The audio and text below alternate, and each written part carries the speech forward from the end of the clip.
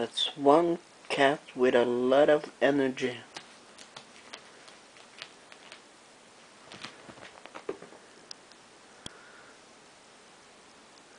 And there's one cat with no energy.